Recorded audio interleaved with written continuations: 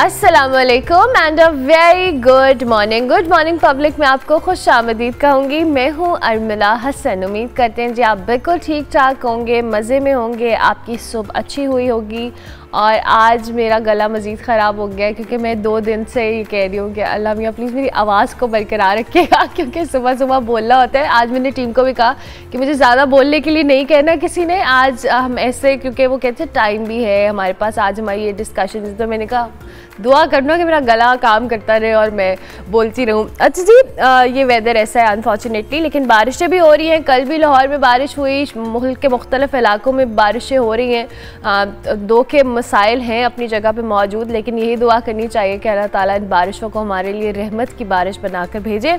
साथ साथ जी हम रहमत की रिक्वेस्ट अल्लाह ताला से अपने मुल्क के लिए भी करें क्योंकि जो सियासी हालात वाक़ात हम रोज़ अपने इर्द गिर्द देख रहे हैं। ये कुछ हौसला अफजा नहीं है जिस पे दो के सब लोगों को लगता है कि मीडिया बहुत ज़्यादा पैनिक मचाता है लेकिन हम इतना पैनिक नहीं करते। ऑलरेडी चीज़ें हैं जो हम सबकी नज़रों के सामने मेरे हाल से विद टाइम आवाम भी इतनी अवेयर हो गई है कि उन्हें आइडिया हो जाता है कि क्या हो रहा है क्या नहीं हो रहा। पी टी आई के हवाले से जी आज हम बात करेंगे। अंदरूनी इख्तलाफात ख़त्म कर, करने की जो कोशिशें हैं वो तेज़ कर दी गई हैं। सबक सदर आरिफ अलवी ने पेशावर में वज़ी अला खैबर पख्तूनख्वा अली अमीन गंडापुर हों और नाराज़ पार्टी रहनुमाओं आतिफ खान जुनेद अकबर और सबक सूबाई वज़ीर जो है शकील खान।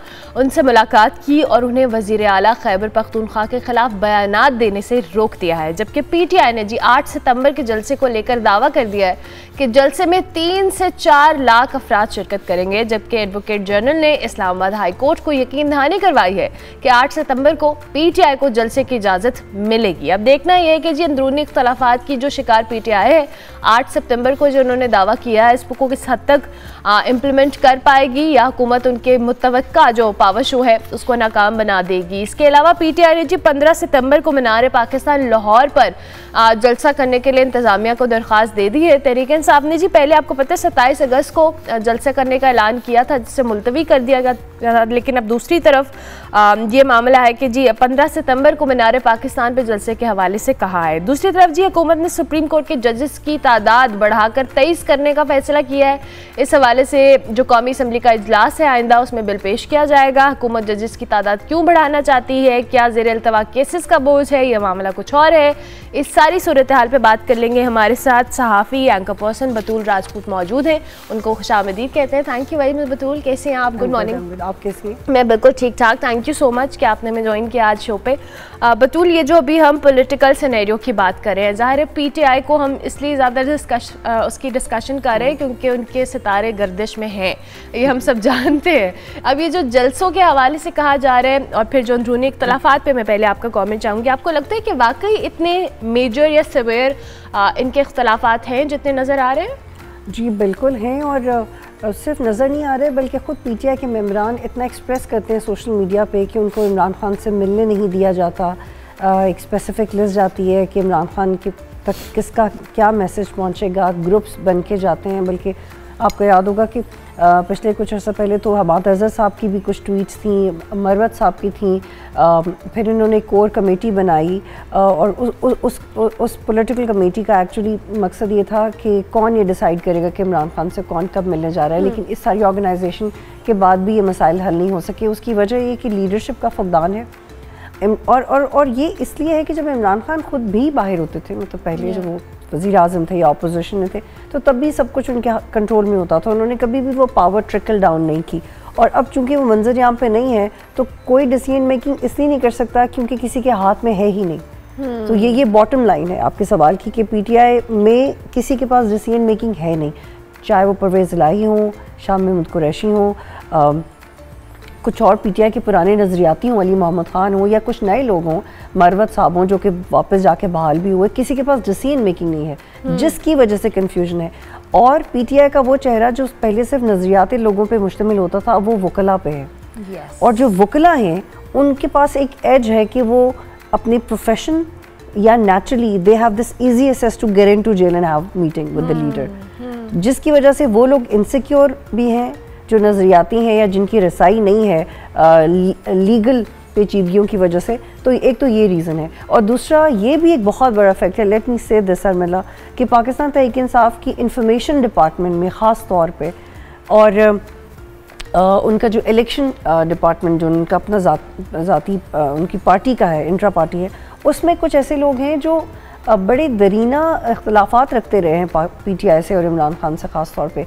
अभी आप देखें कि किस तरह से सियासी जमातों का मुस्तबिल चेंज होता है या वक्त कैसे चेंज होता है कि अभी वो लोग बड़ी पोजिशन में पी टी आई पर बैठे हैं और वो नज़रियाती नहीं है और इसका एहसास इमरान खान को नहीं है हम्म। इमरान खान दो किताबें लिख, लिख चुके हैं अपनी ज़िंदगी पे और अपने सियासी सफ़र पे लेकिन वो दोनों किताबें पढ़ के आपको ये नहीं समझ आता कि इमरान खान ने कभी ये मैं ये बहुत ज़िम्मेदारी से कह रही हूँ कि इमरान खान ने कभी ये रियलाइज़ कर लिया हो कि उनके करीब कुछ ऐसे लोग हैं जो उनकी सियासी तौर पर जड़ें काट रहे हैं काट रहे थे और इमरान खान ने उन पर यकीन किया they are very much there अब वो चाहे आपके लिए मार भी खा लें या अपने पे हमला भी उन पर हो जाए लेकिन जो पास्ट है उनका आपके साथ क्या आपको यकीन है कि अब वो आपके बड़े बेहतरीन सियासी रफका हैं? He needs to ponder on this point तो ये एक दो मैंने आपको कुछ जाविये बताए जिससे आपको अंदाज़ा होगा कि अंदरूनी इख्तलाफात क्यों हैं। और बाकी आप पूछें कि ये ख़त्म कब होंगे? ये ये तभी ख़त्म होगी जब लीडरशिप का फकदान ख़त्म होगा। हम्म, हम्म। अब आप इसे अंदाज़ा लगाएँ कि जब जलसे का जो आपने अभी ज़िक्र किया है आपको याद है कि उससे कुछ दिन पहले तक अली अमीन गंडापुर साहब क्या कह रहे थे कि बाय होकर बाय क्रोक हम ये जलसा करने वाले इवन जिस दिन जलसा होना था उससे पहले पीटीआई के रहनुमा आए और उन्होंने कहा कि हम ये जलसा हर हाल में करके रहेंगे। जी बिल्कुल। और उसके बाद एकदम से पंद्रह मिनट बाद एक प्रेस कॉन्फ्रेंस आई गया और वो कहा गया की जी जलसा और उन्होंने कहा कि वो क्रेन साथ लेके आएँगे। उससे पहले कहा कि इस्लामाबाद पे कब्जा कर लेंगे। तो इतना ज़्यादा जो तैयारी जोश और जज्बा था वो जब ख़त्म हुआ तो वो कैसे ख़त्म हुआ? अलीमा खान ने कहा कि इन्होंने इन्होंने इमरान खान से गाइडेंस नहीं ली और जलसे का ऐलान ना करने का ऐलान कर दिया। अली अमीन गंडापुर ने कहा कि हमने इंतशार से बचने के लिए इसको कैंसिल कर दिया। इमरान खान की तरफ़ से बर रास्त तो कोई ऐसी स्टेटमेंट नहीं आई, लेकिन जो, और हमाद अजहर, और फिर उनके वो लोग जो लिटरली रो रहे थे, उन्होंने कहा हम अपनी लीडरशिप को चूड़ियाँ पहना देते हैं। और आप ये देखें कि जब उमर अयूब और गौहर साहब के ख़िलाफ़ भी लोग आए थे तो वो इसलिए आए थे कि उनका उनका ग्रज ये था कि आप इमरान खान के लिए कुछ कर क्यों नहीं रहे? जो वोटर हम्म, है हम्म। कि आप इमरान खान के लिए क्यों नहीं कर रहे?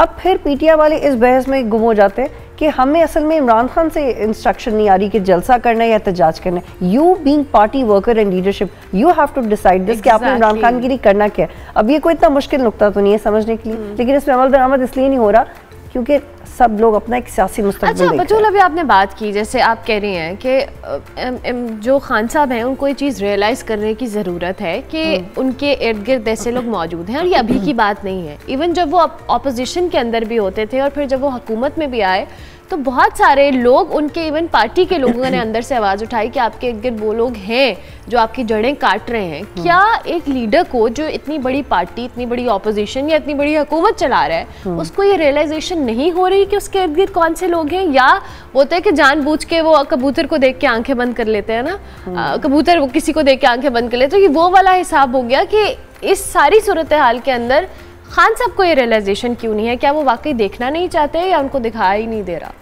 उन, उनकी पर्सनालिटी ऐसी है। मैंने आपको जो उनकी किताबों का ज़िक्र किया है और जो उनकी बेतहाशा इंटरव्यूज़ और जो लंबे लंबे उनके ख़िताब मौजूद हैं तो आपको किसी के पर्जुएसिव स्किल से अंदाज़ा हो जाता है कि वो किस तरह की शख्सियत है। हम्म। तो इमरान खान इम्पल्सिव हैं। वो फ़ैसला अपनी नर्व्स की बेस पे करते हैं कि वो चाहते क्या या उन्हें क्या ठीक लग रहा है। हम्म। वो ज़्यादा रिसर्च या ज़्यादा लोगों से कंसल्ट करने पे बिलीव नहीं करते। और, ये कोई, में नज़र आता है। और ये कोई मैं आपको खबर नहीं दे रही हूँ। ये कोई खबर नहीं है ना ये कोई तजिया ये फैक्ट है। उनकी शख्सियत का और उनके फैसलों का और उन्होंने जो अपने बारे में लिखा और कहा है।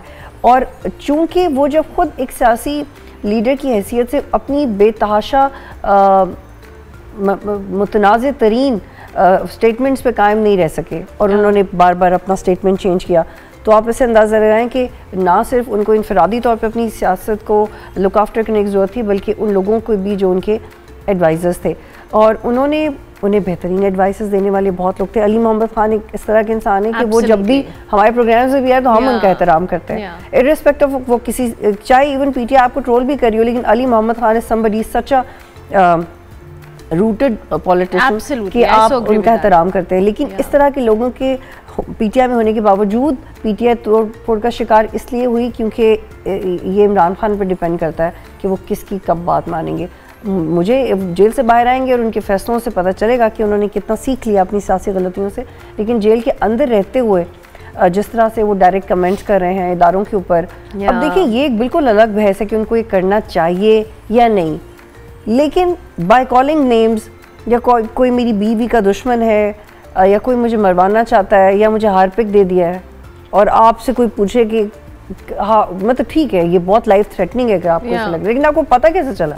कि वो हारपिक ही है it can be else poisonous तो वो फिर इस तरह की बेबुनियाद से जुमले बोल देते हैं तो उन, उनका अपना वज़न कम और एग्जैक्टली exactly, क्योंकि उन स्टेटमेंट से एक वोटर के बाद का भी के ऊपर भी एक परसेप्शन वो कायम करता है ना इन स्टेटमेंट से। अब ज़ाहिर है इस जलसे की जहाँ हम बतूल बात करें जिस जलसे को पहले एक को तो मनसूख किया गया फिर जो लाहौर वाला था सत्ताईस अगस्त वाला उसको मुलतवी हम्म, किया हम्म। गया।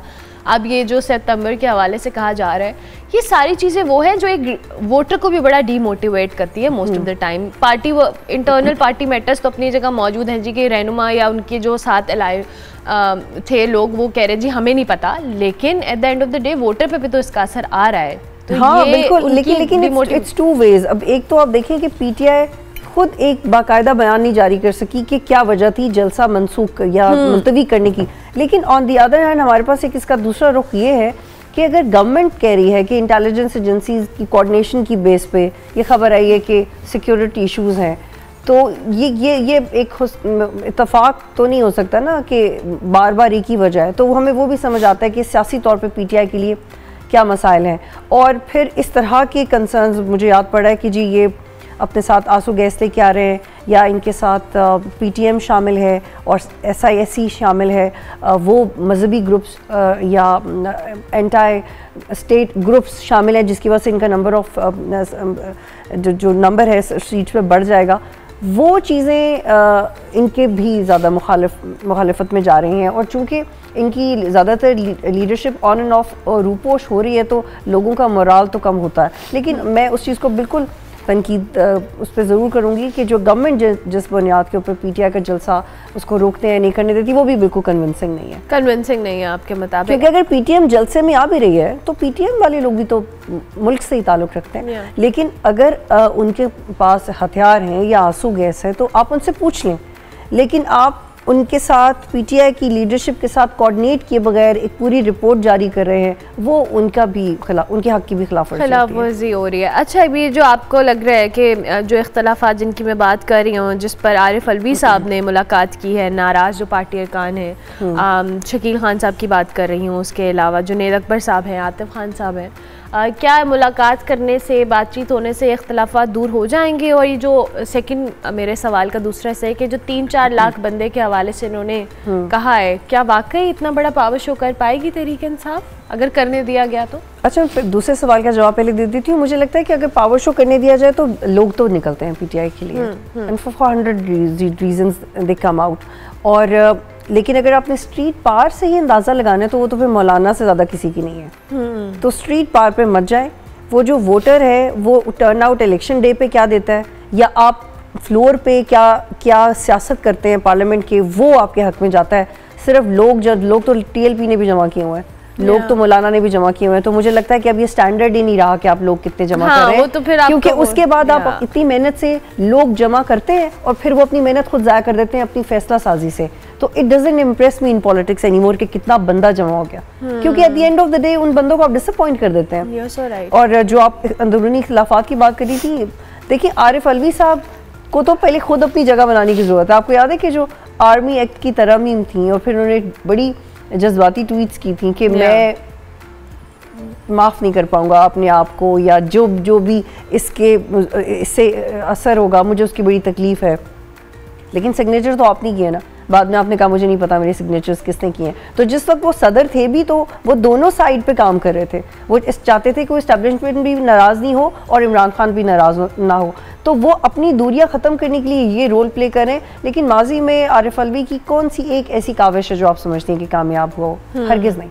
जो काविशें कामयाब हुई थी वो पी एन की तरफ़ से और पीपल्स पार्टी की तरफ़ से थी नाइन्थ मई से पहले।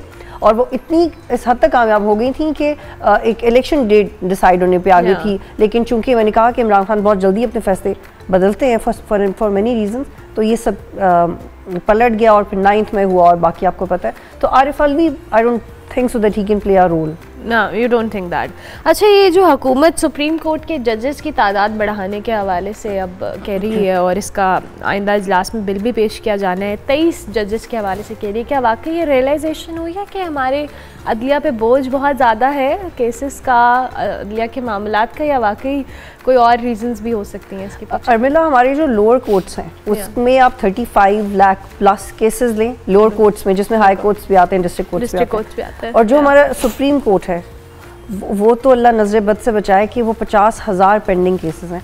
और वो यही नंबर है वो नंबर नीचे नहीं जा रहा ना ऊपर जा रहा है आप देखें कमाल देखें कि ना वो नंबर पेंडिंग केसेस इतनी कम तवज्जो है कि ना ऊपर जा रहे हैं या ना नीचे जा रहे है तो दैट वी रियलाइज़ के बहुत केसेस पाइल अप हो गए हम्म। लेकिन आप ये देखिए कि हो क्यों रहे हैं ये इसलिए हो रहे हैं क्योंकि आपने कुछ बहुत सारे इरेलीवेंट केसेस भी जमा किए हुए हैं जो आप निपटा सकते हैं हम्म। और वो वो पॉलिटिकली मोटिवेटेड केसेस हैं केसेस हैं मैं पीटीआई के केसेस की बात नहीं करी आप देखें ना फॉर एग्जांपल किसी की ज़मीन का मामला आप उसका निपटा क्यों नहीं देते हम्म। किसी ने किसी कंपनी को सू किया हुआ है किसी ने अपने किसी लैंड ओनर को कि, किसी एग्रीकल्चर की किसी बॉडी को सू किया हुआ है। तो वो आपके स्लो प्रोसेस की वजह से है कि आपके केसेस पेंडिंग है। वो सिर्फ़ जजेस के ना होने की वजह से नहीं है वो आपकी प्रायोरिटीज़ की वजह से है। दूसरी बात ये कि जो एडहॉक जजेस होते हैं वो कोई गैर कानूनी काम नहीं है कि एडहॉक जजेस आ रहे हैं। हम जब भी पाकिस्तान की तारीख में देखते हैं तो इस टर्म को लेके हमेशा पॉलिटिकली रिलेट कर दिया जाता है। लेकिन एडहॉक जजेस टेम्प्रेरीली आते हैं वो ये जो भी केसेस जमा हुए होते हैं उसको उसको सॉर्ट करते हैं and then they go back and they come for a very short time to maybe two or three years लेकिन ये सब इस पर ये क्वेश्चनेबल कब हो जाता है? क्वेश्चनेबल तब हो जाता है जब उसकी टाइमिंग कन्विंस uh, नहीं करी होती आपको। अब आपको तभी एडहॉक जजेस क्यों चाहिए जब सारे केसेस पीटीआई के हक में आ रहे हैं yeah. उनके फैसले? आपको साइबर क्राइम से रिलेटेड ही क्यों चाहिए? आपको फौजदारी से रिलेटेड ही क्यों चाहिए? या आपको मनी लॉन्ड्रिंग से रिलेटेड एक्सपर्टीज़ का जज क्यों चाहिए? तो ये सारी वो बातें हैं जो आपको समझ आती हैं। तो एडहॉक जजेस की अपॉइंटमेंट गलत नहीं है। उसकी टाइमिंग, टाइमिंग और जो प्रेशर आ रहा है वो वो क्वेश्चनेबल है। और दूसरा है कि जो एडहॉक जजेस की अपॉइंटमेंट में जुडिशल एक बॉडी होती है उसमें जो ज़्यादातर जजेस हैं वो ऑलरेडी uh, उनका एक इन, उनका एक नेचुरल इंक्लिनेशन कह लें या प्रोफेशनल इंक्लिनेशन कह लें it is towards P M L N that is why we sense this biasness और मैं ये ज़िम्मेदारी से कह रही हूँ। और एडहॉक um, जजेस का जो नंबर क्या आपने बात किया कि ओवरऑल नंबर्स क्यों बढ़ा रहे हैं? ओवरऑल नंबर्स इसलिए बढ़ा रहे हैं कि जब मखसूस नशस्तों का फैसला आया था तो आठ पाँच से आया था। Yeah. तो वो जो आठ जजेस हैं उनको किसी तरह कंट्रोल करना है। क्योंकि बंदयाल कोर्ट को भी जब कंट्रोल करने की कोशिश की पीडीएम गवर्नमेंट ने तो उन्होंने अपने अपने दौर के अवाखिर में प्रैक्टिस एंड प्रोसीजर बिल लेके आया ले था जिसके बाद एटी फोर थ्री को कंट्रोल किया या ये कंट्रोल करने की कोशिश की कि बेंचेस कब बनेंगे और वो बहुत समझ में भी आता था। लेकिन अब एट द सेम टाइम आप ये देखिए कि गवर्नमेंट फिर कुछ ऐसी चेंजेस लेके आ रही है जिसकी वजह से ये ये फैक्ट इस्टेब्लिश हो जाता है कि गवर्नमेंट अपने इंटरेस्ट पे करिए। और अर्मिला लेट मी से दिस कि हम अभी कुछ दिन पहले इस चीज़ पर रिसर्च कर रहे थे कि पिछले थ्री एंड हाफ़ ईयर्स और maybe two years two and half and three and half years में जितना भी चाहे वो इमरान चाहे वो नवाज़ शरीफ की डिस्कालिफिकेशन के मामले में हो जजेस की अपॉइंटमेंट के मामले में हो आ, या इलेक्शन ट्राइब्यूनल्स में अपॉइंटमेंट के मामले में हो प्रैक्टिस एंड प्रोसीजर हो कुछ भी जुडिशली के हवाले से जो इकदाम किए गए हैं उसकी टाइमिंग बहुत क्रिटिकल है। तो दिस दिस की वजह से P M L N is losing this this political impression that they are being very professional with judiciary then they're not हाँ ये इम्प्रेशन टाइमिंग की वजह से ख़राब हो रहा है और जिसका नुकसान हो सकता है कहीं ना कहीं। अच्छा आप पाकिस्तान की मीशत जो है ये भी मैं अपने सवाल ज़रूर आपसे करना चाहूँगी क्योंकि मूडीज़ की रिपोर्ट के मुताबिक हमारी रैंकिंग बेहतर हुई है हम्म। लेकिन वो रैंकिंग कैसे बेहतर हुई है हमें नज़र नहीं आ रहा हो हम्म। सकता है हुकूमती लोगों को या मैनेजमेंट को नज़र आ रहा हो क्योंकि आवाम तक तो उसके समरात नहीं पहुँच रहे हैं हर चीज़ का अभी हम देख रहे हैं ताजर अलग एहतजाज कर रहे हैं रिटेलिटी स्टोर्स वाले अलग एहतजाज कर रहे हैं हम्म। हर जगह हमें कोई ना कोई मसला नज़र आ रहा है ये जो मीशत के हालात वाक़ात हैं आपको क्या लगता है? क्या ये हुकूमती प्रायोरिटी का हिस्सा है कि इनको ठीक करना है या सिर्फ़ अभी पॉलिटिकल पॉइंट्स स्कोरिंग करनी है? अच्छा अरबिल्ला मुझे याद पड़ता है कि जब हम जर्नलिज्म में नए थे ना तो मूडीज की रिपोर्ट तो तब से ही आ रही है। तो हमें लगता था कि maybe it is something very surprise exactly ये बड़ा कुछ मज़े का होता है और इसके बाद कोई हालात बहुत ही मज़े के होने वाले हैं। लेकिन और और वो मूडी साउंड वैसे करता है maybe it's going to boost up your mood. Anything to do with your nations mood और योर मूड लेकिन ऐसा नहीं ऐसा। हरगिज नहीं है ये सिर्फ़ आपकी गलत फहमी है। आपकी खुश फहमी है और आपकी नाइली की निशानी है कि आप मूडीज का सिर्फ़ नाम सुन के सोचें कि आपका मूड चेंज हो जाएगा। लेकिन I literally I have a kind of affiliation with this word शुरू शुरू में। आपने इस रिपोर्ट की तो बात की है कि रैंकिंग बेहतर हुई है पाकिस्तान की। लेकिन एग्जैक्टली exactly कुछ हफ़्ते पहले maybe eight weeks back जो रिपोर्ट आई थी उसमें कहा हुआ था मूडीज़ की कि 18 माह के बाद इस गवर्नमेंट का कुछ पता नहीं है रहेगी या नहीं। पाकिस्तान में पॉलिटिकल स्टेबिलिटी नहीं रहेगी। और पीटीआई के साथ जो हो रहा है वो जमहूरियत के खिलाफ है तो ये भी वो भी अपने mood पे चल रहे भी, हाँ। तो इस प्लीज़ आप इस पे इतना खुश मत हुआ एक्चुअली करें। मैं नहीं हो रही और आप ये आज की अखबार में इतनी बड़ी हाँ, लेकिन लगी मैं आपको बता रही हूँ कि प्लीज़ इसको पूरी रिपोर्ट पढ़ लिया करें क्योंकि मुझे याद है कल प्रोग्राम में क्या हो रहा था कि माय प्रोड्यूसर सजेस्टेड दिस कि बतूल मूडीज की रिपोर्ट में आ गया। मैंने कहा पूरी पढ़ी है? मैंने। मैंने कहा पूरी रिपोर्ट पढ़ी है? नहीं पूरी नहीं पढ़ी उसकी खबर पढ़ी है। हमने भी खबर ही पढ़ी है जो कि हाँ, अखबार में लगी हुई है। पूरी खबर नहीं पढ़ा करो। रिपोर्ट पढ़ लिया करो उससे तुम लोग की जो खुशी है ना वो थम जाएगी और थोड़ा लॉजिकल खुश हो पाओगे। लेकिन जो ये रिपोर्ट आई है ये इस बुनियाद पे आई कि पाकिस्तान के जो दोस्त ममालिक से रोल ओवर्स थे उसमें कमिटमेंट नज़र आ रही है। और जो आईएमएफ के साथ स्टैंड बाय एग्रीमेंट है जो पहली सतह का होता है और वो वो अपनी जगह पे कायम है और जो है। दोस्त ममालिक हैं पाकिस्तान के मिडल ईस्ट में सऊदी अरब और चाइना हाँ। इनसे जो पैसे आने थे वो आएँगे और इसको मैं आपको आसान करके बता रही हूँ चूँकि उनके आने में दिक्कत कम हो रही है इसलिए मूडीज़ ने हमारी रैंकिंग बेहतर की है दूसरा ये कि हम जो टैक्स लगा रहे हैं या जो हमारे एफ़ बी आर के टारगेट्स हैं और बेसिकली आई एम एफ़ की जो शराइत हम आवाम पे बोझ डाल के पूरा कर रहे हैं उसी शॉर्टली उसी की बुनियाद पे हमारी थोड़ी रैंकिंग बेहतर हुई है बट द प्रॉब्लम इज़ कि जो इन्होंने जो आप हड़ताल की बात करी थी 3.1 ट्रिलियन इन नाइन मंथ्स ये किसका परचेज है?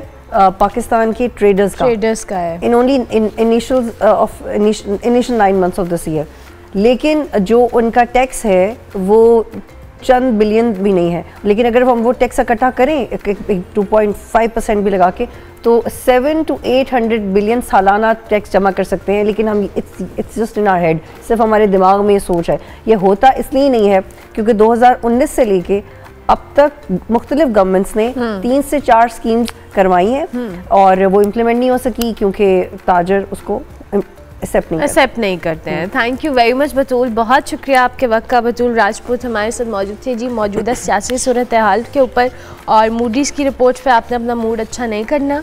ये सिर्फ़ रिपोर्ट्स की हद तक है और ये हम सुनते आ रहे हैं पढ़ते नहीं हैं। हम सिर्फ़ खबर की हेडलाइन देखते हैं। तो जनाब ये कुछ डिस्कशन जो हमने किए हम ब्रेक लेते हैं। ब्रेक के बाद वापस आते हैं। आप देखते रहिए good morning public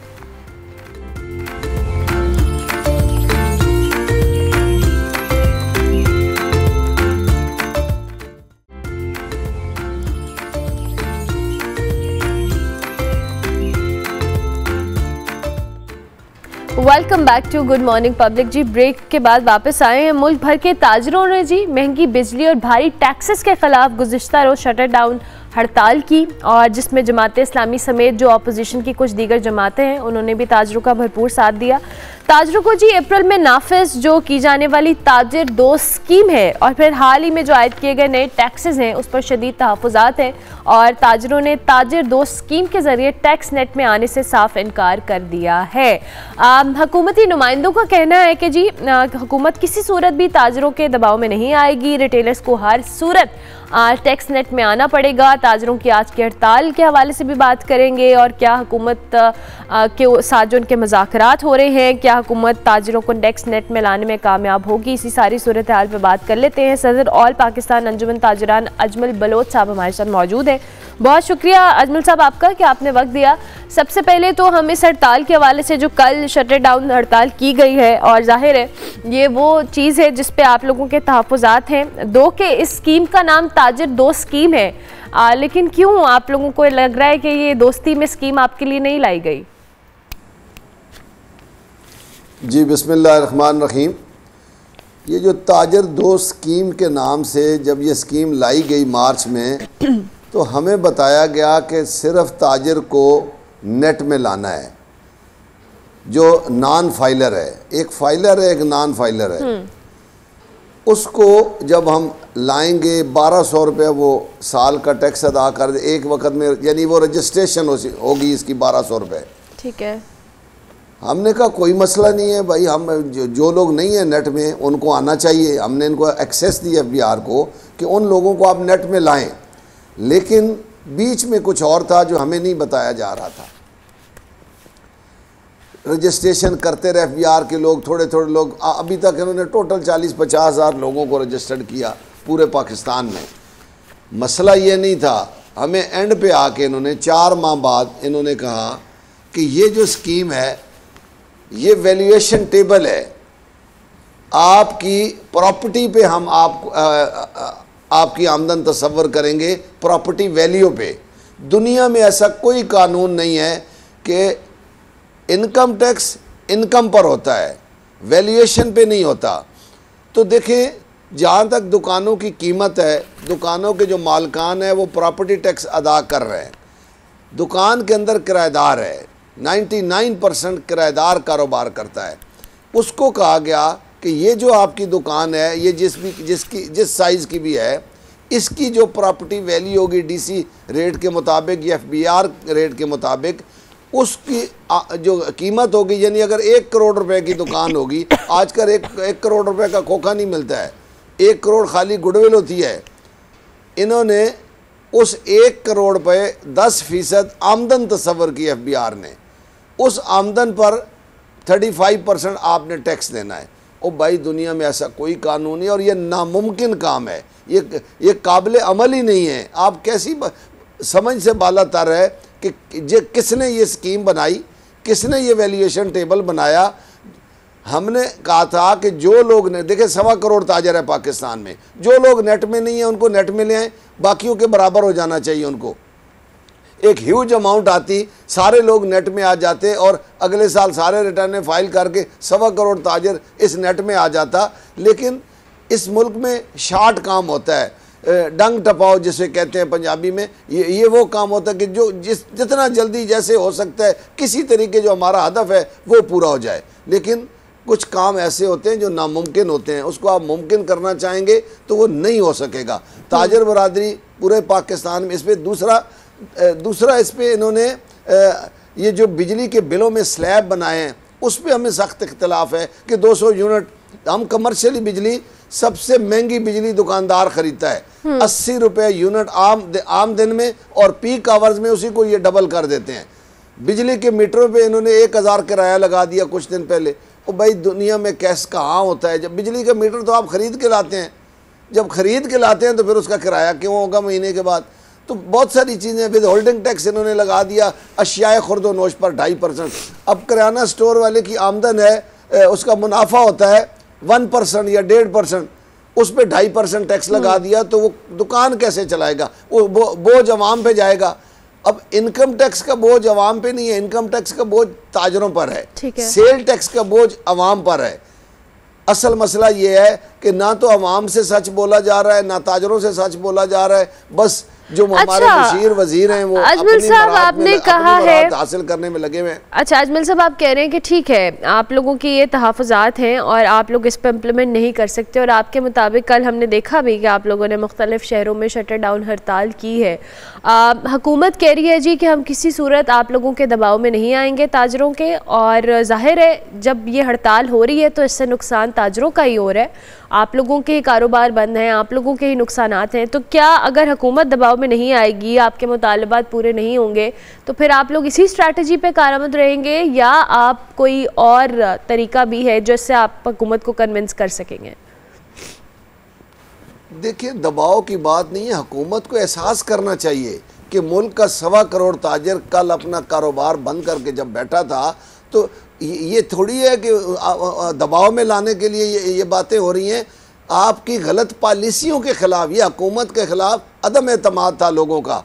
शटर बंद करके ये मैसेज दिया हमने कि जनाब, ये जो आप कर रहे हैं, ये दुरुस्त नहीं है। ये जो वैल्यूएशन टेबल है, ये नाकबिल ना अमल है। हमने ये मैसेज दिया है, इसमें कोई खुदा ना खास्ता हम कोई दहशत गर्द नहीं है कि हुकूमत हमारे दबाव में नहीं आएगी। हम इस मुल्क के लिए मुखलिस है, हम इस मुल्क को टैक्स देते हैं, हम हम इस मुल्क की हर तरह की।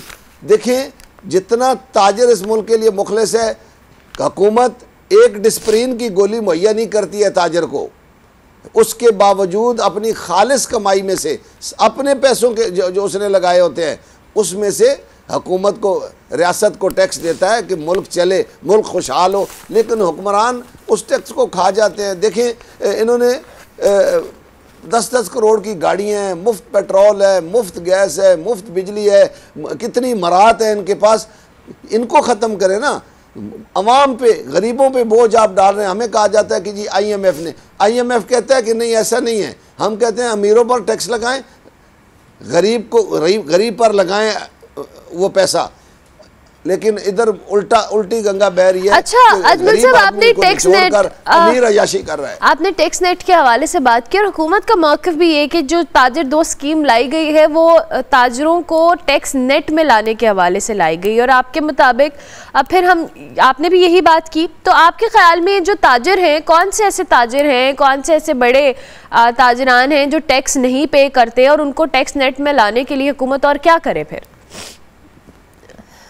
देखिए जो आम ताजर है दुकानदार है हम कहते हैं देखिए ये एफपीआर का काम था। 25 साल तो मुझे हो गए 99 से मैं लगा हुआ हूँ कि आप लोगों को नेट में लाएँ। बिजली के बिलों में ऑलरेडी ताजर जो नॉन फाइलर है या फाइलर है वो टैक्स अदा कर रहा है एडवांस इनकम टैक्स उसको रजिस्टर कर लें। कौन सा मुश्किल काम है? सरकारी डॉक्यूमेंट आपके पास है लेकिन आप रजिस्टर उसको करना नहीं चाहते ये एम शोर है कि रजिस्टर करना चाहते हैं। हम इनको एक्सेस हमने एक्सेस दिया है क्या है रजिस्टर करें।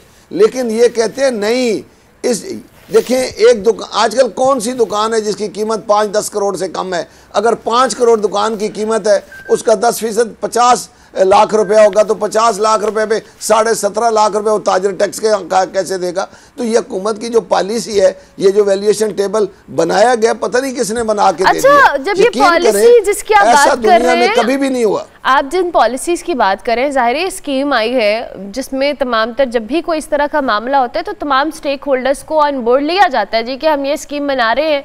आप चूँकि इस सदर हैं इस और सारी चीज़ें हैं तो क्या आपसे इन सारी चीज़ों पे कोई इस इन मामला को या पॉलिसीज़ को बनाने से पहले मशवरा नहीं किया गया आप लोगों से या आप लोगों के जितनी भी यूनियंस हैं कि कोई रिप्रेजेंटेटिव हो जिसको पता हो कि जी ताकि बात एहतजाज तक आई ही ना। देखिए मैं अल्हम्दुलिल्लाह पूरे पाकिस्तान का सदर हूँ। मैंने ही हड़ताल का ऐलान किया है पूरे मुल्क में। हम इनसे कई मीटिंगें कर चुके हैं कई मुजाकरात कर चुके हैं। ये उस तरफ़ आते नहीं, एक ही बात करके जान छुड़ा देते हैं कि जी ये आईएमएफ ने हमें कहा है, जी आईएमएफ से हमने किस्त लेनी है। आईएमएफ का नाम लेके बस जान छुड़ा ली जाती है। लेकिन ये नहीं बताया जाता कि जो आईएमएफ पैसे देता है, वो लगते कहाँ पे हैं? वो सारे मुफ्ता में चल जाते हैं। हुकूमत डेवलपमेंट के नाम में लोग तकसीम कर लेते हैं, लोग जेबें भर लेते हैं और अवाम उसी तरह बेहाल है। अवाम, देखें, हकूमतों का काम होता है अपने आप को नमूना पेश करें। सादा ज़िंदगी बसर करें। ये गरीब मुल्क है बड़ी बड़ी आप छोटी गाड़ियों पे आए ना नमूना बनाएँ। लोग खुश भी हों आपको टैक्स देने के लिए।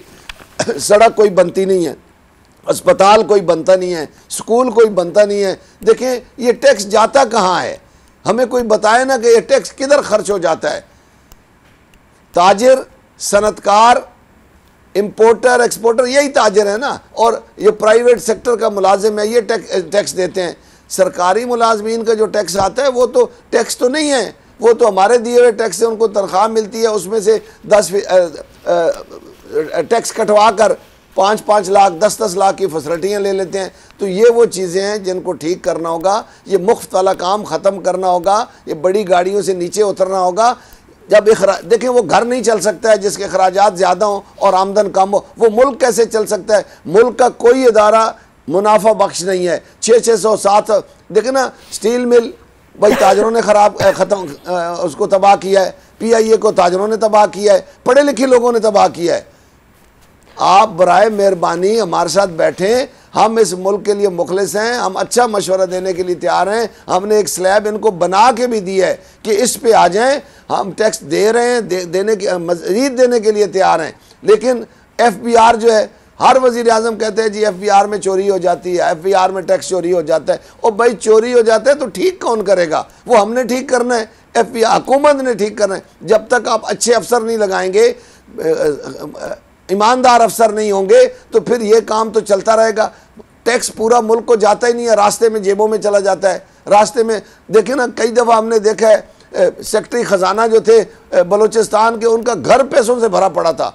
अभी ये तो एक चेक हुआ था, पता नहीं बाकी तो किसी ने चेक किया नहीं है। हर इन लोगों के घर भरे पड़े हैं पैसों के बलमारियाँ भरी पड़ी हैं अच्छा प्राइम मिनिस्टर साहब ने तो कहा है कि जी हम प्राइम मिनिस्टर साहब ने कहा है कि जी हम अपने खर्चे कम करके जो आवाम के रिलीफ के बजट हैं जिसमें उन्होंने बिलों पे सब्सिडी की बात की थी या दीगर चीज़ों पे कहा है हम ना फौज का बजट कम होने देंगे ना अवामी रिलीफ का बजट कम होने देंगे। प्राइम मिनिस्टर कई दफ़ा कह चुके हैं और अभी दो चार दिन पहले भी उनकी यही स्टेटमेंट आई। आपको लगता है कि इस स्टेटमेंट की हद तक है क्या वाकई इनके खर्चे कम नहीं हो रहे या होंगे?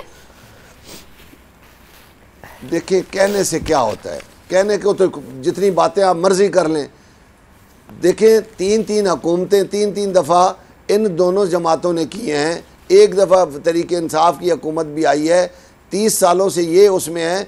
ओ भाई, ठीक करें ना, बातें ना करें। आप ठीक करें, आप अखराज आप कहते हैं, कम कर देंगे। और भाई अखराज ख़त्म करें।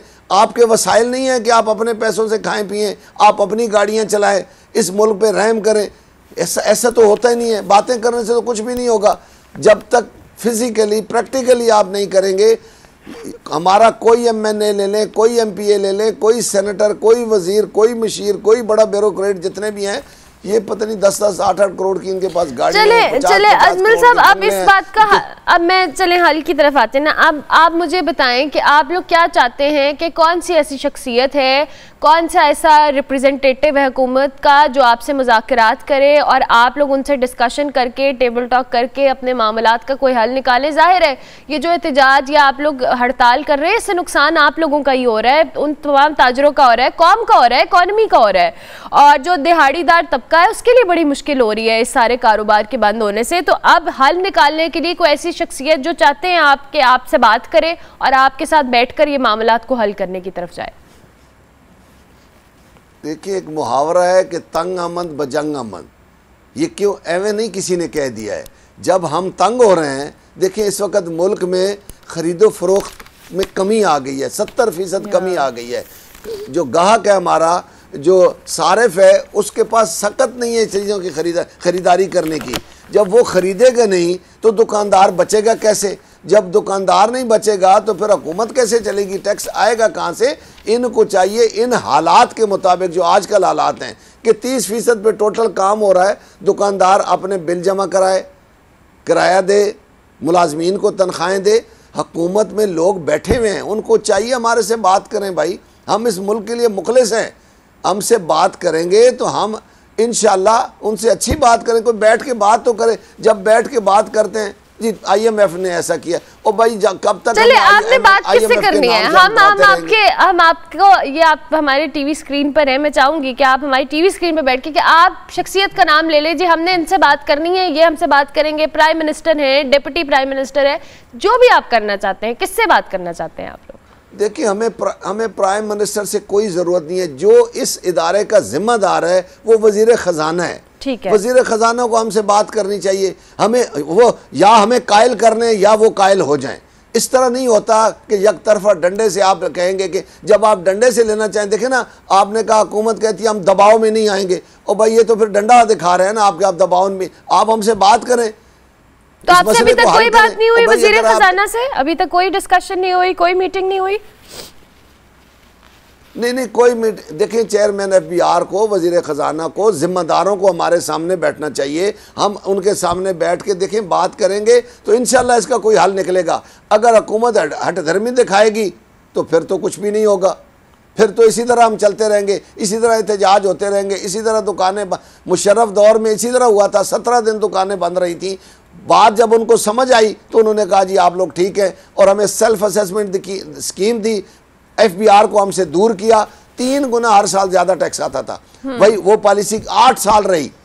उस वक्त देखे ना ये कहते हैं जी वो ताजर टैक्स देना नहीं चाहते। जब मुल्क खुशहाल था कितने अरसे से चल रहा है। जी नवाज़ शरीफ साहब थे तो बड़ा खुशहाल था फलाना था तो बड़ा खुशहाल था। ताजरी टैक्स दे रहे थे ना। ये सिस्टम सही चल रहा था। ये ढाई सालों में हम मुसीबत में चले गए इन ढाई सालों में इतने मुसीबत में गए कि हम कोरोना में इतनी मुश्किल में नहीं गए थे। हम्म, ठीक है तो आपके मुताबिक हुकूमत वज़ीर ख़जाना हो या बात की जाए दारे एफ़ बी आर के लोग बैठे हैं आपसे बात करें तभी अगर बातचीत अभी आप हड़ताल जारी रखेंगे अजमल साहब? बातचीत जब तक नहीं होती। नहीं नहीं ये हमारी हड़ताल एक दिन की थी ठीक है।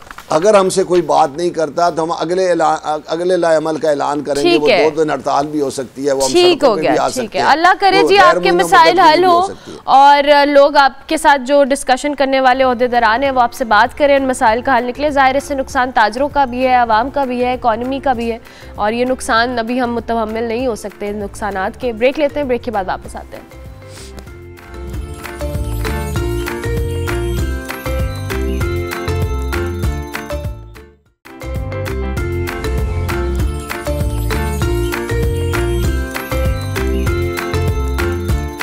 Welcome back to good morning public ji break के बाद वापस आ गए हैं। इंटरनेशनल क्रिकेट काउंसिल ने नई टेस्ट रैंकिंग जारी कर दी है, जिसके मुताबिक बाबर आज़म की जो कारकर्दगी है, उसके बाद इस रैंकिंग में जो सिक्स जो कहने दर्जे नीचे चली गई है, जबकि रिजवान सेवन दर्जे तरक्की पाकर टॉप इलेवन में शामिल हो चुके हैं। बेहतरीन बल्लेबाजों की जी सर, जो फहरिस्त है, इसमें पहली पोजीशन पर इंग्लैंड के जो रूट हैं बरा जमान, जबकि दूसरे पर न्यूजीलैंड के केन विलियमसन है, तीसरे पे भी न्यूजीलैंड के डर मिचल हैं, और ये सब सिचुएशन पाकिस्तानी टीम की इस तरह से हो गई है कि बाबर आज़म ने की जो तनजली हुई है, वो क्यों हुई है? साथ ही बांग्लादेश के खिलाफ पहले टेस्ट में बदतरीन शिकस्त के बाद कल से दूसरा टेस्ट शुरू होने जा रहा है। इसमें पाकिस्तानी टीम की कारकर्दगी के हवाले से, टेस्ट रैंकिंग के हवाले से इन सारी चीज़ों पर तजिया ले लेते हैं। हमारे साथ काशिफ मजीद मौजूद हैं।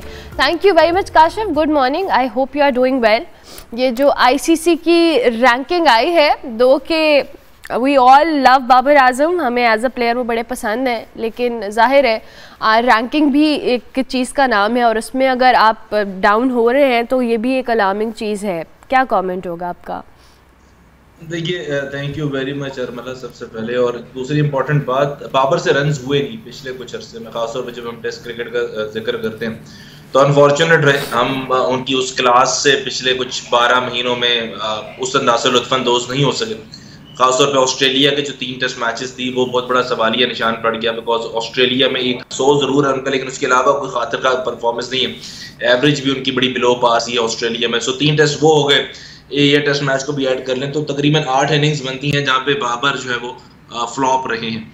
जो कि एक बाबर जैसे क्लास बैट्समैन के लिए बहुत ज़्यादा अमाउंट ऑफ़ क्रिकेट है कि जिसमें उनकी तरफ़ से परफॉर्मेंस नहीं आई सो मोस्ट प्रोबेबली वो यकीनन जैसे नंबर वन बैट्समैन का जब हम तस्करा करते हैं तो वो अपने आप पे काफ़ी मेहनत कर रहे हैं और हम देखेंगे कि दूसरे टेस्ट में वो वापस आएँगे।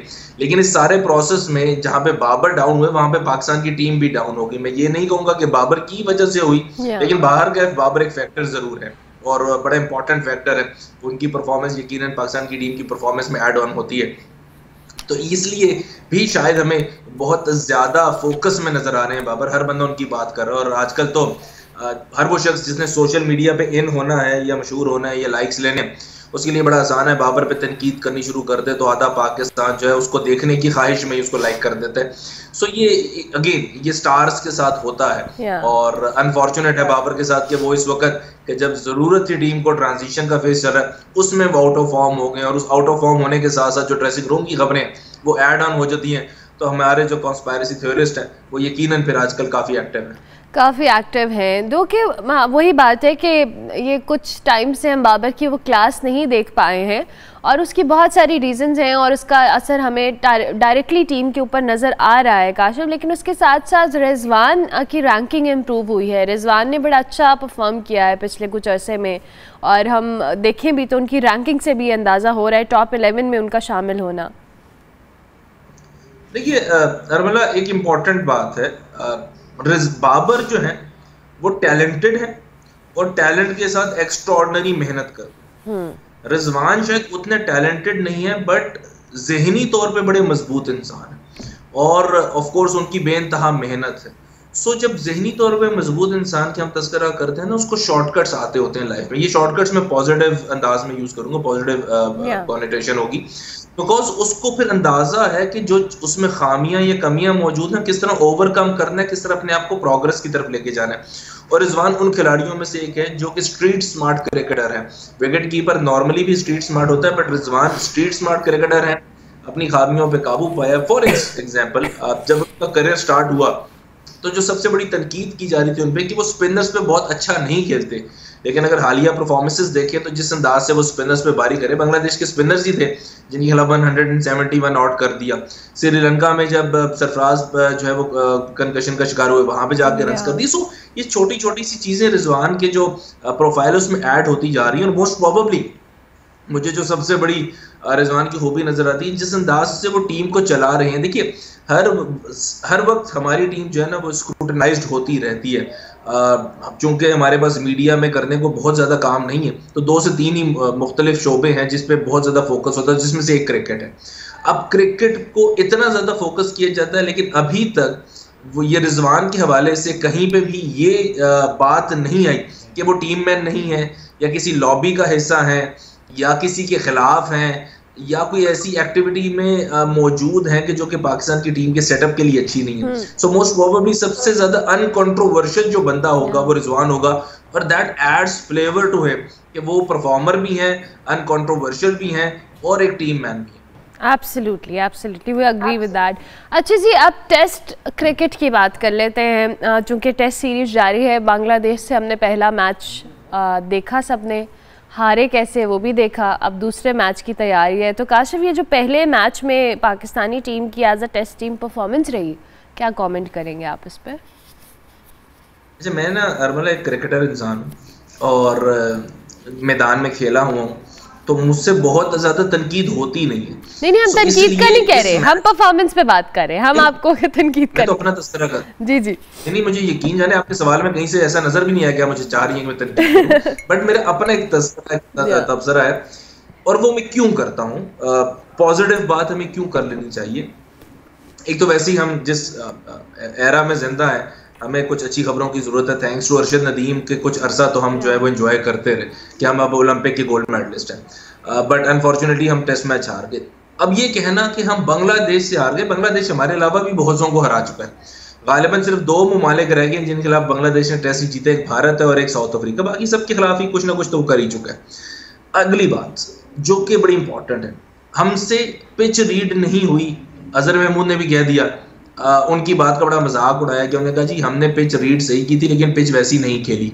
तो ठीक है पिच के हवाले से अगर हम मैं चाहूँ क्योंकि अब मीडिया का दौर है सिर्फ़ मैच जो शुरू हो रहा था पहला टेस्ट मैच उससे एक दिन पहले की कहीं से भी न्यूज़ क्लिपिंग उठा लें हर बंदा यही कह रहा है कि फास्ट बॉलर्स के लिए साजगार है। अब वो हर बंदा जब कह रहा है फास्ट बॉलर के लिए साजगार है और वो अनफॉर्चुनेटली नहीं हो सका तो इसका मतलब ये नहीं है कि अगले दिन हम आके कह दें कि पिच रीड नहीं हुई। हम खुद को भी अपने आप को भी शामिल करें कि भाई हम भी सही नहीं देख सके। हम्म। हाँ ये हमारे पास आर्ग्यूमेंट ज़रूर है कि हमने करीब से नहीं देखी हमने टीवी के ज़रिए से देखी कैमरे के ज़रिए से देखी। और फिर बहुत सारे सहाफ़ी वो भी हैं या बहुत सारे लोग वो भी हैं जो बहुत करीब से देख कर आए और उसके बाद उन्होंने बेनतहा ट्वीट किया कि जनाब चार फास्ट बॉलर्स तो बांग्लादेश को पता नहीं क्या कर देंगे। अनफॉर्चुनेटली नहीं हो सका। जब लफ्ज़ अनफॉर्चुनेटली है तो बड़ा इंपॉर्टेंट है इस बात को जानना कि नहीं हो सका तो मान लिया जाए कि यार वो भी अच्छा खेले। आ, कहानी सिर्फ़ ये नहीं है कि हम बुरा खेले कहानी ये है कि वो भी अच्छा खेले हैं। और अगर तस्करा करूँ मैं इस इस बात का कि उनका अच्छा खेलना क्यों है? तो ये देखिए, मशफीक रहीम 2007 में जब उन्होंने बांग्लादेश ने अपसेट किया था भारत को, मशफीक रहीम का उसमें पचास था। शकीबुल हसन उस टीम का हिस्सा थे जिसने 2007 में भारत को जो है वो अपसेट किया था। महमूद अल्लाह इसमें मौजूद नहीं है, लेकिन अगर मैं बाकी टीम से चलता चला जाऊँ तो सवाए तीन फास्ट बॉलर्स के, बाकी सारे वो प्लेयर्स हैं जिनका डोमेस्टिक का रिकॉर्ड, जिनका टेस्ट का रिकॉर्ड जो है वो पचास पचास, साठ साठ मैचेस के आसपास का होगा। हम ये कह देते हैं कि वो बांग्लादेश है बट हम ये क्यों नहीं समझते कि वो एक एक्सपीरियंस्ड बांग्लादेश है?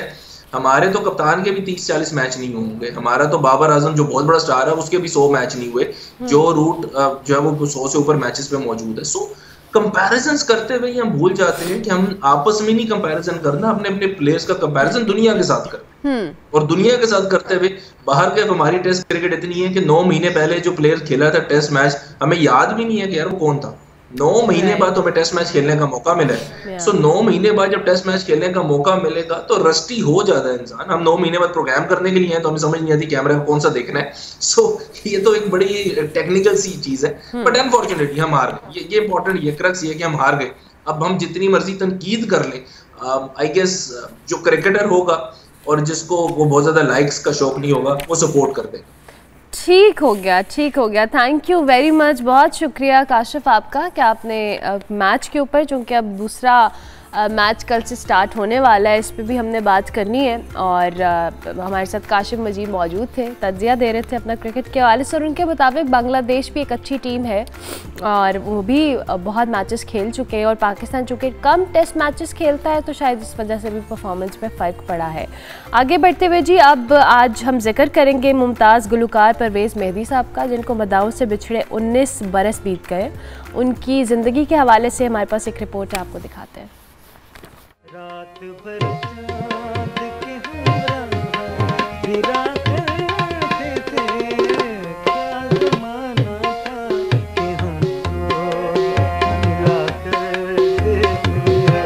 परवेज मेहदी 29 अगस्त 2005 मुमताज़ गज़ल गायक परवेज मेहदी जिनका असल नाम परवेज हसन था 14 अगस्त उन्नीस सौ सैंतालीस को लाहौर में पैदा हुए। उन्होंने इब्तदा में जी ए फारूक से मौसीकी की तरबियत हासिल की और बाद में शहनशाह गज़ल मेहदी हसन की शागिर्दी इख्तियार कर ली। सत्तर की दहाई में रेडियो स्टेशन लाहौर के लिए रिकॉर्ड किया गया गीत, मैं जाना परदेस उनकी शोहरत का बायस बना।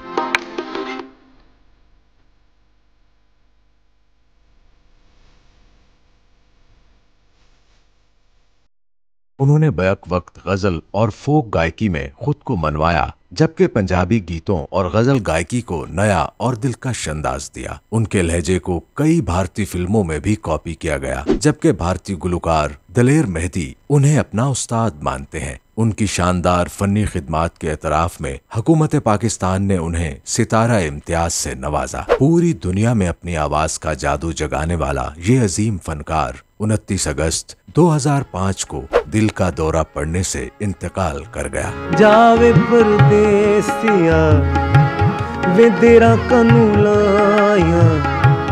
मैं रुल गई मैं भूल गई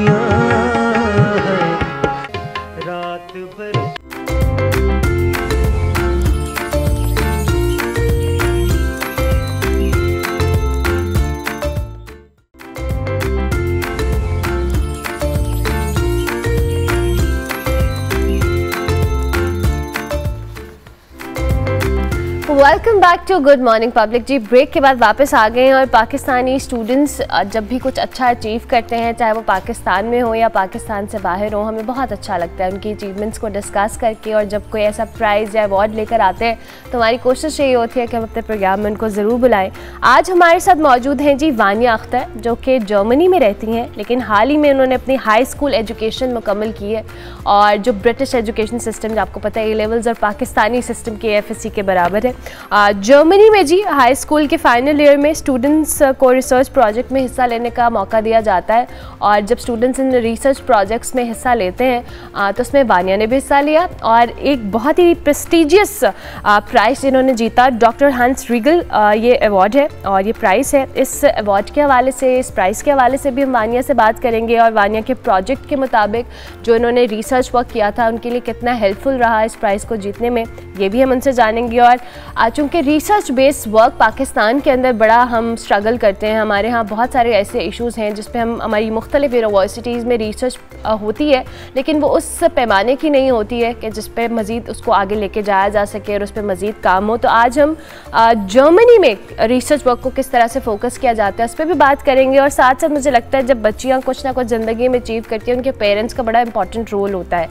और आज हमने सोचा कि वानिया की मदर को भी हम बुलाएँ और हमारे साथ इस वक्त मखजूबिया मुनीर साहिबा मौजूद हैं। हम दोनों को खुश आमदीद कहेंगे। असल वालेकुम। Good morning. कैसे हैं आप लोग? ठीक अलहमदिल्ला thank you so much for coming and congratulation Wania सबसे पहले तो आपको बहुत बहुत मुबारकबाद इस इनाम के लिए। कैसा लग रहा है जीत कर और इतनी ज़बरदस्त अचीवमेंट के बाद? थैंक यू मुझे भी बहुत अच्छा लगा। मुझे बहुत खुशी हुई है कि मैंने पहला अवार्ड जीता तो मेरी मतलब मेहनत ज़ाया नहीं हुई और उससे मुझे बहुत खुशी हुई है। अच्छा मुझे अब थोड़ा सा बताओ कि ये हम जो अवार्ड जीतने का क्राइटेरिया होता है क्या होता है? किस तरह का रिसर्च काम होता है? And since it's a very prestigious award so tell us about that ये ट्वेल्थ क्लास में मतलब ज़रूरी होता है कि एक रिसर्च प्रोजेक्ट करना हर किसी ने वहाँ ट्वेल्थ क्लास में ताकि एफ़ हो, उसके बगैर एफएससी मतलब नहीं कर सकते तो ये मैंडेटरी है।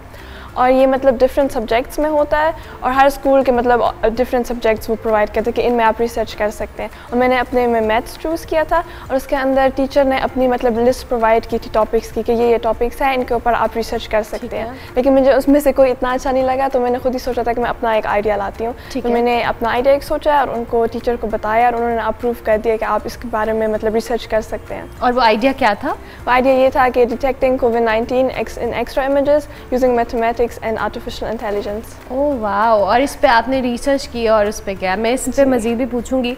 आज चूँकि वानिया के मदे भी हमारे साथ मौजूद हैं। अच्छा ज़ाहिर है बच्चे जब पढ़े होते हैं तो उनको घर से सपोर्ट और इस तरह की जो के लिए फैसिलिटेशन मिलना बड़ा ज़रूरी होता है। सो so, वानिया हमेशा से इतनी लाइक फाइक स्टूडेंट थी कभी तंग तो नहीं करती थी पढ़ाई करने में? मेहनती है हार्ड वर्किंग मतलब है कि हार्ड वर्क करती है और अपनी चीज़ों का खुद भी ख्याल करती है।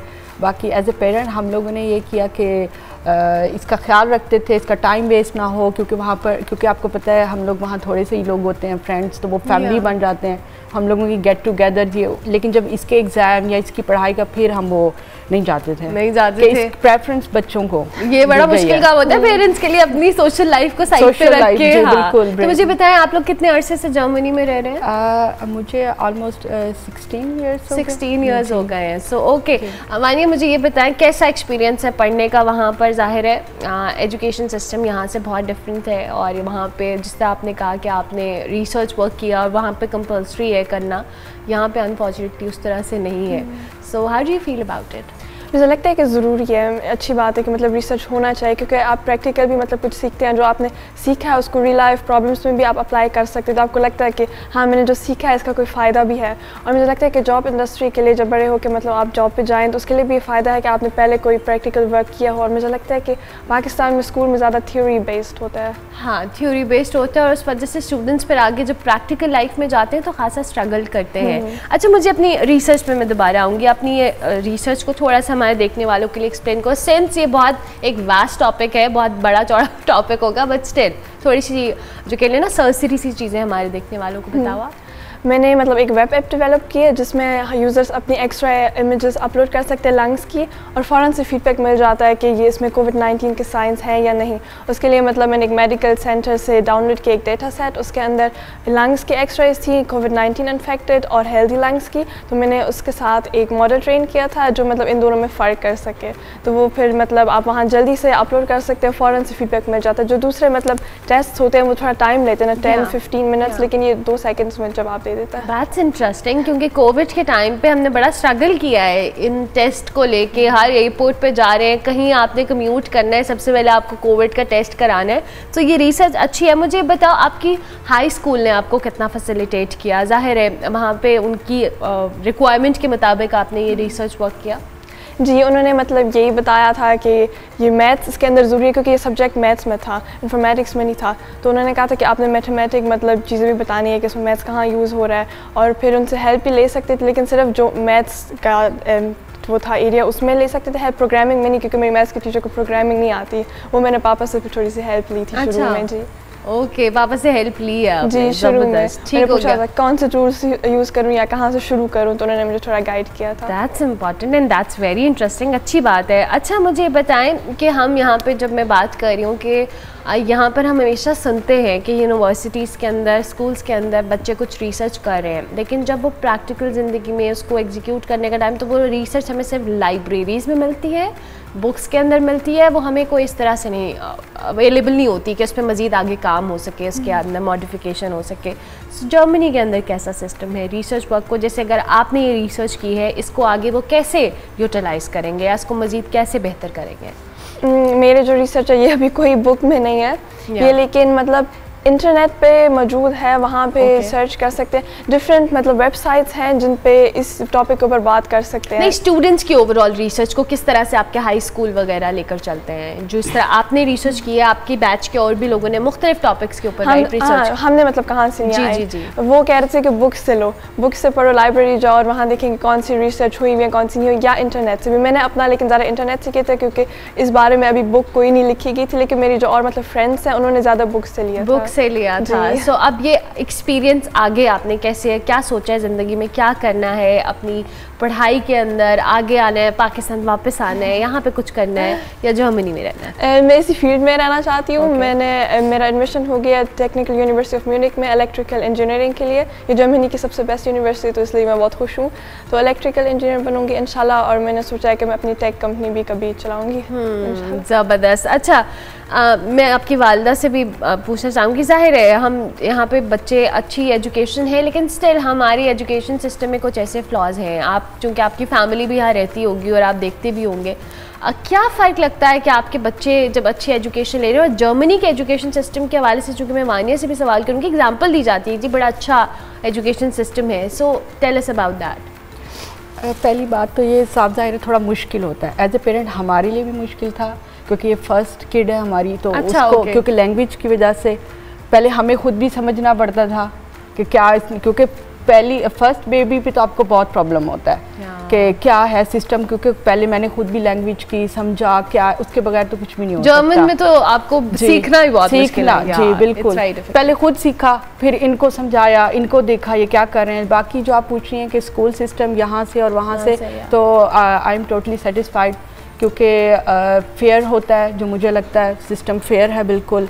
जितने ही बच्चे मेहनत करेंगे उतना ही उनको मिलेगा। जो बच्चा मेहनत करेगा वही होगा। यहाँ थोड़ा आपको पता डिफरेंट है तो उस लिहाज से तो मैं कहती हूँ बेस्ट है। और बच्चों के लिए बहुत सी अपॉर्चुनिटीज़ भी हैं। तो बेस्ट है बेस्ट है। अच्छा मुझे बताओ यार जहाँ पर आती हो ज़ाहिर कज़न्स हैं फ्रेंड्स हैं वो पूछते होंगे कि यार मुझे बताओ कि वहाँ पे कैसे पढ़ते हो या वहाँ पे कैसी पढ़ाई होती है।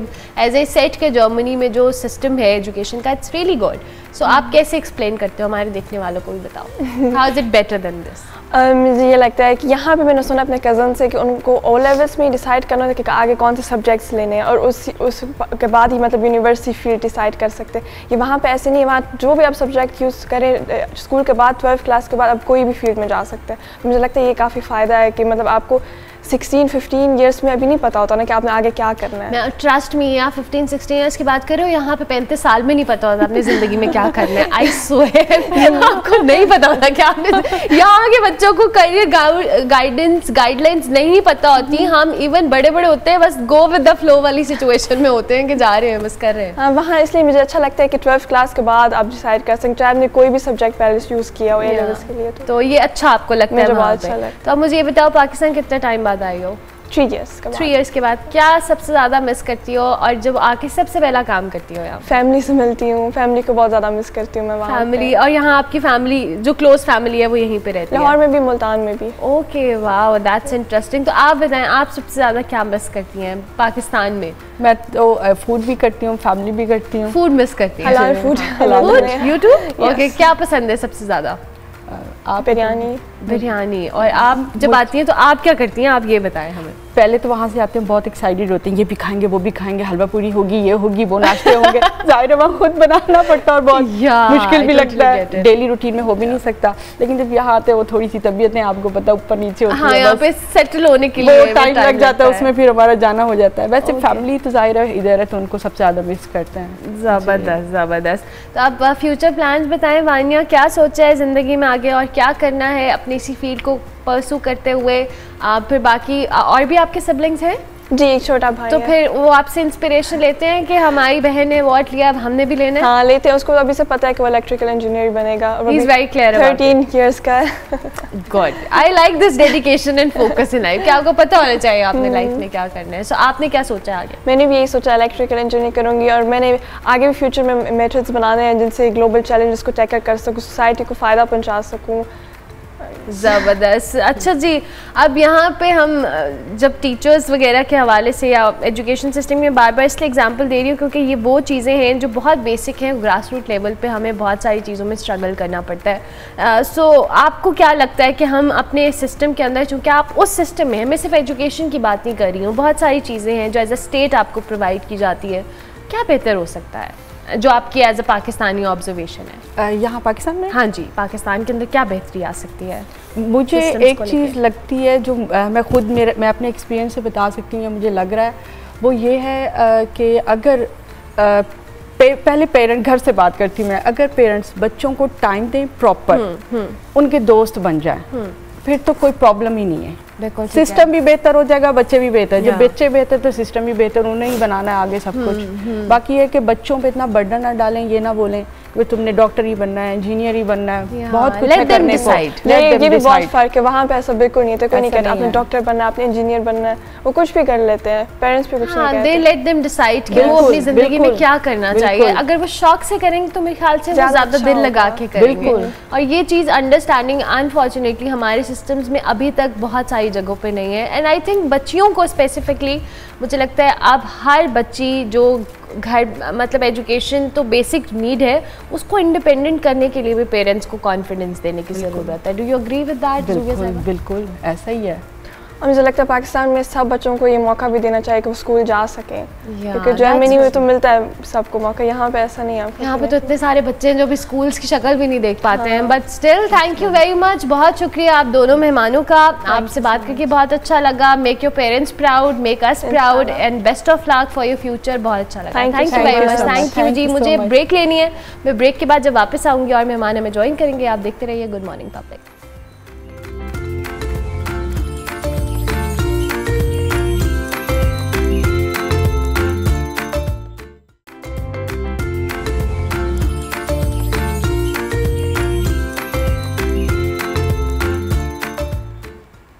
welcome back to good morning public program का आखिरी हिस्सा। है हमने सोचा कि टेक्नोलॉजी या टेक के हवाले से इस सेगमेंट में बात की जाए, क्योंकि ज़ाहिर है विद टाइम बहुत सारी चीज़ें आती हैं और हम मुख्तलिफ़ यूट्यूब चैनल्स पे इंस्टाग्राम हैंडल्स पे टेक रिव्यू सुन रहे होते हैं, मुख्तलिफ़ प्रोडक्ट्स को लेकर हमने सोचा कि आज इसी हवाले से बात की जाए। आज हमारे साथ जी तैयब फयाज मौजूद हैं, जो कि टेक एक्सपर्ट भी हैं रिव्यूज़ भी देते हैं और ख़रीदारी डॉट पी के के नाम से अपना प्लेटफॉर्म भी चला रहे हैं। मुख्तलिफ़ गैजेट्स के रिव्यूज़ देते हुए नज़र आते हैं और स्मार्ट वॉचेस का इस्तेमाल आजकल आपको पता है बहुत ज़्यादा है। तो हमने सोचा कि स्मार्ट वॉचेस के हवाले से आज इनसे कुछ बात करते हैं कि कौन सी स्मार्ट वॉच आपके पास होनी चाहिए और कितनी ज़रूरी है इसका इस्तेमाल क्या है। तो तैयब कम खुश आमदीद कहते हैं। वालेकुम तैयब साहब कैसे हैं आप? खैरियत से? अलहमदिल्ला बिल्कुल ठीक। अच्छा थोड़ा सा हमें अपनी बताएँ अपनी एक्सपर्टीज़ के हवाले से आप मुख्तलिफ़ गैजेट्स को लेकर रिव्यूज़ भी देते हैं। कैसे शौक़ हुआ? वैसे तो लड़कों को अमूमन होता है गैजेट्स का शौक़। बिल्कुल लड़कों को गैजेट्स का शौक़ होता है और मुझे भी शुरू से ही गैजेट्स का बहुत ज़्यादा शौक़ था। और मतलब काफ़ी ज़्यादा एक्सपर्ट हो गया था मैं उसमें तो मैंने सोचा कि चलें लोगों को भी गाइड करना शुरू कर दें। इस वक्त पाकिस्तानी मार्केट में बहुत सारी स्मार्ट वॉचेज़ आ रही हैं। लाइक सबसे महँगी ब्रांड जो है वो तो एप्पल है या सैमसंग है और बहुत सारे लोग उसको अफोर्ड नहीं करते। तो उसमें अब पाकिस्तान में कुछ ऐसी भी ब्रांड्स आ गई हैं जो कि under ten thousand under five thousand आपको बड़ी अच्छी स्मार्ट वॉचेज़ दे रही हैं। उसमें ज़ीरो है फास्टर की कुछ वॉचेज़ हैं हेलो की हैं। अब इनमें सीन ये है कि इनमें आपको ऐसी ऐसी चीज़ें मिल जाती हैं जो कि हमारे डेली लाइफ में बहुत यूज़ होती हैं। लाइक अब इन वॉचेस से हम ब्लड प्रेशर भी मैयर कर सकते हैं। कोविड के टाइम में आपको पता है कि ऑक्सीजन मीटर्स 10 10 12 बारह हज़ार रुपये के बिक रहे थे। लेकिन अब अच्छी बात यह है कि पाँच हज़ार, सात हज़ार रुपये में आपको इन वॉचेस के अंदर ही ऑक्सीजन मीटर भी मिल जाता है। तो ये सारे बहुत ज़बरदस्त से फीचर्स हैं जो अब इन वॉचेस में आ रहे हैं और काफ़ी ज़्यादा अफोर्डेबल प्राइस में हो गए हैं। अब यहाँ पे आज हमारे पास कुछ वॉचेस हैं मैं कुछ साथ लेके आया था जैसे आप लोगों को दिखाने के लिए। वाले को बताएँ। इसमें ये हमारे पास इस वक्त ज़ीरो की वॉच है। ज़ीरो इस वक्त एक ऐसा ब्रांड बना हुआ है कि भाई इन्होंने तो कमाल कर दिया पिछले एक साल में इन्होंने टेक में तबाही मचा दी है और एयरबड्स भी अपने बहुत सारे लेके आ रहे हैं वॉचेस भी लेके आ रहे हैं।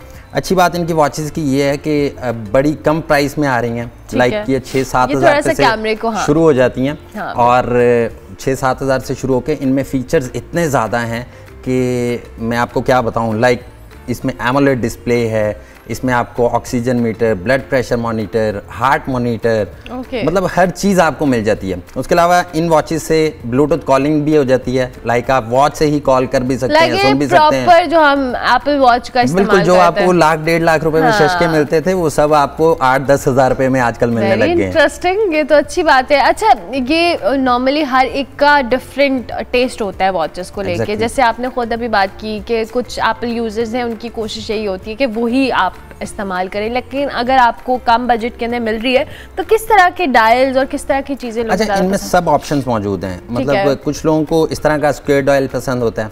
कुछ लोगों को ये राउंड डायल पसंद होता है Yeah. ये भी इन वॉचेस में आ रहा है Okay. अच्छा इसके अलावा यहाँ पे बहुत डिफरेंट डिफरेंट फीचर्स हैं लाइक अब मैं आपको ये अगर वॉच दिखाऊँ तो स्ट्रैप्स में भी लोगों की चॉइसेस होती हैं ये Yeah. मेटल स्ट्रैप में है ये सिलिकन स्ट्रैप में है उसके अलावा ये वोवन स्ट्रैप में है okay. तो मतलब एप्पल वॉच में आपको जो जो ऑप्शंस मिलते हैं ना वो सब ऑप्शंस आपको अब इस प्राइस कैप में भी मिल रहे हैं वेरी इंटरेस्टिंग अच्छा अब तो हर बंदे के हाथ में हमने स्मार्ट वॉच देखी है विद टाइम मुझे लगता है कुछ अरसे में एज यू सेट के कोविड के बाद हमें बड़ी चीज़ों में होता था फिटनेस को लेके जो लोग प्रॉपरली करते हैं एक्सरसाइज वगैरह, उनके हाथ में भी आपको स्मार्ट वॉच नज़र आती है। अब शुरू में मुझे लगता था इज़ इट रियली नेसेसरी लेकिन अब मुझे लगता है, वाकई अब ज़रूरत बन गई है बिल्कुल, आप अब देखें, अगर आप जिम करते हैं या आप किसी भी किस्म का वर्कआउट करते हैं तो पहले आपको मैनुअली देखना पड़ता था कि यार मुझे एक घंटा हो गया, आधा घंटा हो गया, मेरी कितनी कैलोरीज बन रही हैं, आप एग्जैक्टली नहीं कैलकुलेट कर सकते थे।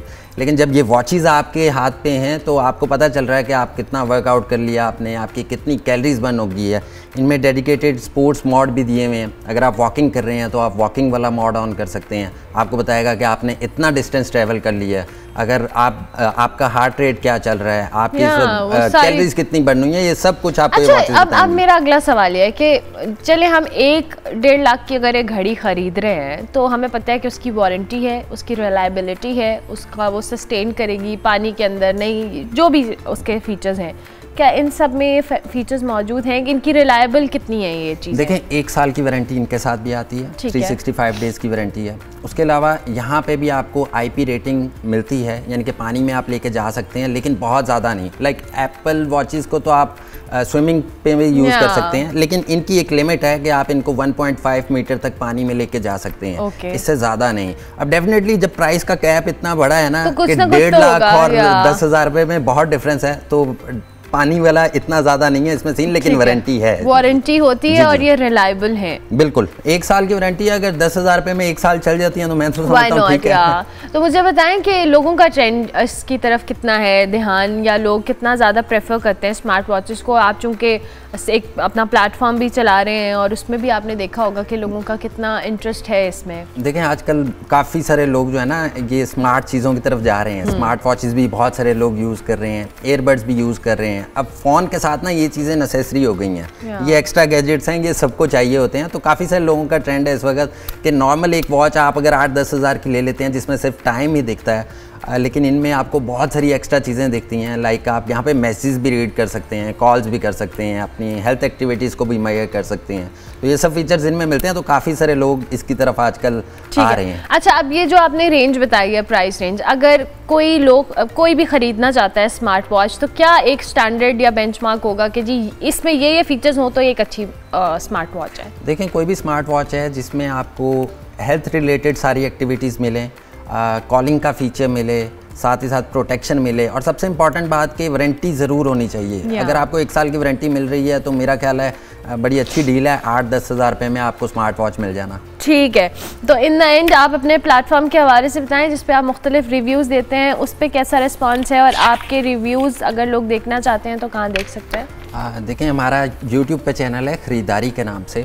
और मैं पिछले पाँच साल से वहाँ पे टेक रिव्यूज़ कर रहा हूँ। कोई भी लेटेस्ट स्मार्टफ़ोन आता है या कोई वॉच आती है एयरबड आते हैं आजकल हमारे सोलर इन्वर्टर्स आ रहे हैं। इन सब के रिव्यूज़ हम अपने चैनल पे करते Okay. हैं और अल्हम्दुलिल्लाह बहुत अच्छा रिस्पांस है। अच्छा एयरबड्स की आपने बात की एयरबड्स मैं बड़ी कन्फ्यूज़ होती हूँ कि अगर आपने लेना है तो फिर आप अपने फ़ोन के मुताबिक एप्पल वाले ले लो नहीं लेना तो फिर कौन सा ली जाए लोकल लिया जाए अगर तो आपको टॉप नॉच एयरबड लेना ना तो देखें वो तो सिर्फ़ एप्पल का ही है। मैं तो उसमें सैमसंग को भी रिकमेंड नहीं करता। अच्छा ठीक है। ठीक है? वो सिर्फ़ सिर्फ़ एप्पल का है। लेकिन अगर आपने गुजारे के लिए लेना है या म्यूज़िक के लिए लेना है या जस्ट आपको वैसे ही चाहिए आप कभी ऑफ़ एंड ऑन यूज़ करते हैं तो उसके लिए आप ज़ीरो के भी कंसिडर कर सकते हैं।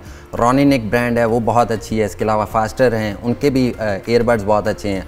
बल्कि फास्टर के अभी आजकल एक नए ईयरबड्स आए हैं। ईयरबड्स नहीं कह सकते उनको नेक बैंड कह सकते हैं। वो ऐसा है कि वो कान के अंदर नहीं जाते वो आपके कान के बाहर ही रहते हैं और वहाँ से ही थ्रू वाइब्रेशन आपको उसकी साउंड जाती है। बड़ी नई सी टेक्नोलॉजी Oh, है nice. वो हमारे पास है भी अगर आप कहते हैं तो मैं आपको ज़रूर प्लीज़ हमें दिखाएँ इनको पकड़ाएँ ताकि हम वो वाला भी देखें। ये बस मुझे चाहिए क्योंकि कान के अंदर बड़ी इरिटेशन होती है क्योंकि समटाइम्स मैं चूँकि ये पहन के बैठती हूँ टॉक बॉक्स मुझे आइडिया है कि क्या पर जी ये आ गए हैं ये दिखाएँ। अच्छा ये कान ये हैं जी हमारे पास ये कुछ इनके नए नेक बैंड्स आए हैं। आप देखें कि ये आपके कान के अंदर नहीं जाते बिल्कुल। Okay okay. ये आपके कान के बाहर ही रहते साउंड हैं। क्वालिटी ठीक है? साउंड क्वालिटी अच्छी है ईयरबड्स जैसी नहीं है okay. लेकिन बहुत अच्छी है। Okay. मतलब बिल्कुल क्योंकि वो कान के अंदर चल जाते हैं तो ये आपकी एयर कनाल को यूज़ किए बगैर साउंड ट्रांसमिट करता है थ्रू बोन्स वाइब्रेशन के थ्रू और आपकी बोन्स के थ्रू ये आवाज़ आपके कानों में जाती है। अच्छा, तो ये बड़ी लेटेस्ट टेक्नोलॉजी है उन लोगों को जिनको एयरपोर्ट लगाने में इरिटेशन होती है वो ये यूज़ कर सकते हैं। पहन के दिखाएँगे जी जी श्योर मैं इसको पहन के दिखाता हूँ। ओके ये कान के साइड पे आएगा ये देखें ये ये कान के आपके साइड पे आएगा आपके एयर कनाल्स के अंदर नहीं जाएगा आपको इरिटेशन भी नहीं होगी और अगर आप वॉक कर रहे हैं जिम कर रहे हैं बार बार एयरपोर्ट गिरने की वजह से भी आप इरिटेट होते हैं तो आप नहीं होंगे अच्छा आप ये गिरेंगे भी नहीं अगर आप हाँ, वॉक कर रहे हैं तो स्ट्रेंथ तो ट्रेनिंग कर रहे हैं रनिंग कर रहे हैं तो ये गिरते भी नहीं हैं। इंटरेस्टिंग नई नई टेक्नोलॉजीज़ हैं जो हम आपके साथ शेयर करते रहते हैं। थैंक यू वेरी मच जी बहुत शुक्रिया आपका। तैयब साहब क्या आप आए तशरीफ़ लाए। जनाब ये तो आज हमने आपको बता दिया कि आप कौन सी स्मार्ट वॉच का इस्तेमाल कर सकते हैं और ये बड़ी अच्छी चीज़ है। प्रोग्राम का वक्त ख़त्म हुआ। मेरी आपसे इंशाल्लाह मुलाकात होगी कल लेकिन जाते